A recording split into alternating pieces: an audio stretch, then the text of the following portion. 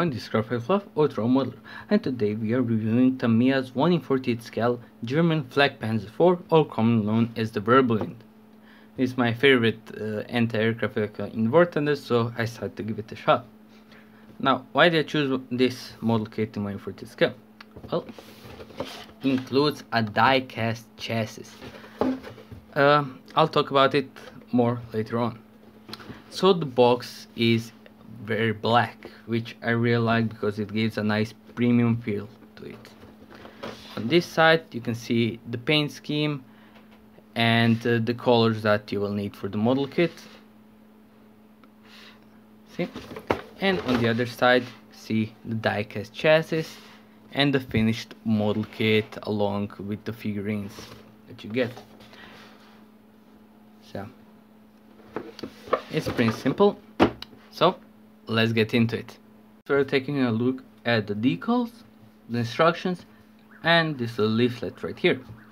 So, Tamiya with every of their 140 scale kit has this small leaflet which shows all the kits in the collection. Of course, there are even some figurines and some extra sets. I really like this. Uh, so right here you can see which vehicles you can get for a diorama or something like that the decals. Um, this is actually my second take I should say because the first take uh, didn't record any audio for some reason so yeah. So you have a greased paper and simple decal sheet. There aren't many decals of course this is a vehicle but it's very nicely printed out and it's in matte finish. The instructions on the first glance were, look very nice I do not like them. Uh, why? We'll get to that in a second. So on the front page you have some info about the vehicle in English, German, French and Japanese of course. And some recommended Tamiya tools. And this is why I do not like them.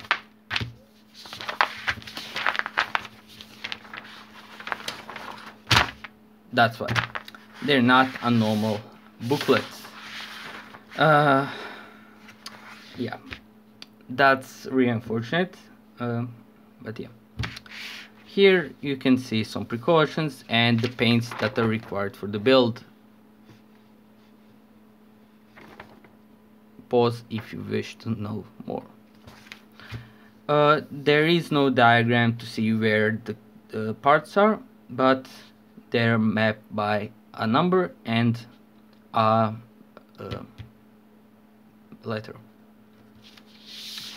The instructions are pretty basic, though I do have to note to everyone here that you should use super glue when attaching plastic parts to the metal diecast hull. Normal Tamiya cement glue will not work because this is for uh, plastic on plastic action and not plastic on metal. But yeah, plastic uh, plastic construction. Also here I wouldn't do the construction of tracks immediately but afterwards. A thing to, that I like about the instructions that, that they include the Zimmerit coating where it should go in the instructions itself. Also the crew members are both in winter and summer clothes which is nice as well.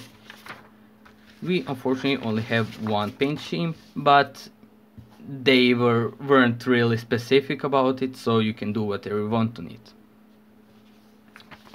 Here's a closer look at it. Overall I feel like they should have done a little bit better on the instructions but hey ho what can you do? Let's move on to the plastic. Plastic comes in six sprues.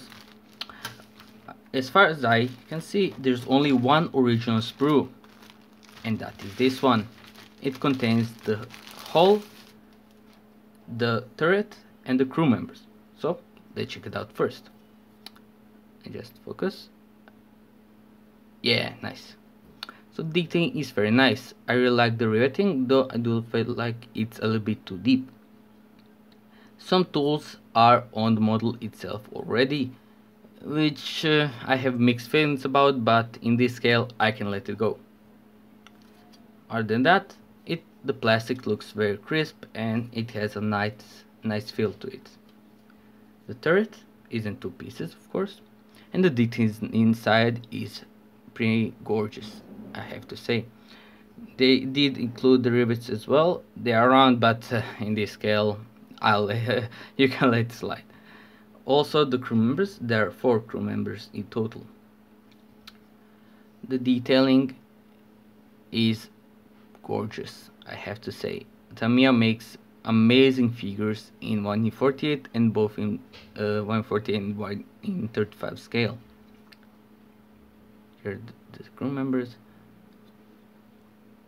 So yeah, very nice indeed. The second sprue is from a normal Panzer IV J.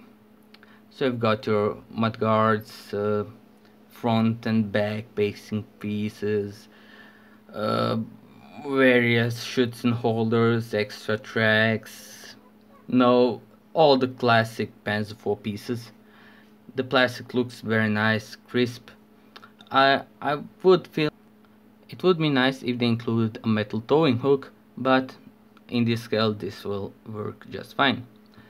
Unfortunately the front piece, the extra armor, isn't riveted so this indicates that this is a Panzer IV late version if I remember correctly. So nothing much to see on the other side. This sprue, the next one, is part of their 1 in 48 scale flak 38 I think it is yeah probably that um, see it's a fairly nice looking sprue. Um, the detailing on the parts is quite amazing in the scale I have to say. Fortunately there are no driven out holes but every modeler should have a vice and so should you. So pretty nice indeed. Our side is quite empty now there's two of the same sprues. These ones are for tracks so one sprue for each track for each side. The tracks are quite high quality if my camera will focus that'd be very nice on them. Of it yeah you can see. Very nice high quality.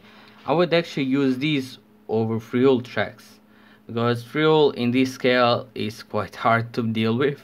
Even 35 scale it's quite a challenge but these tracks are just so nice that uh, I recommend using them. The wheel holder pretty nicely detailed.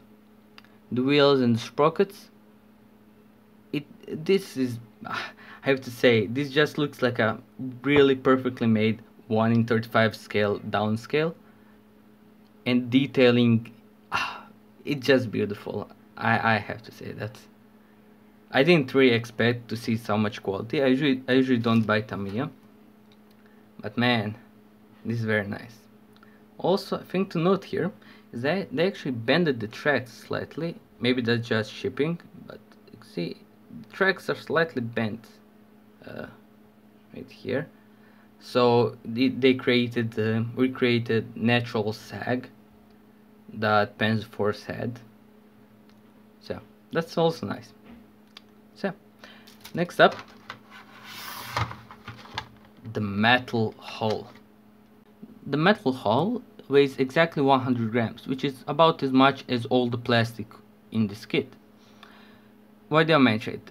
Be well, it's because it's a specialty that Tamiya added. I don't remember any other company doing this. The piece is quite well detailed, though most of it will be covered up by plastic parts in the front, back and the side. So you won't see it much but once you pick up the model you will feel it very very much. I have to note that you should use a primer when painting the model. Why? Because normal paint will just be scraped off. By the Tamiya kit for only 20 euros, this is an exceptional piece. I recommend it to both beginners and advanced modelers. It's simple enough so you can get a real sense of accomplishment when you build it and complex enough so you can so it can be a great competition piece. The addition of the metal hull and the extra figurines is a really nice touch to it.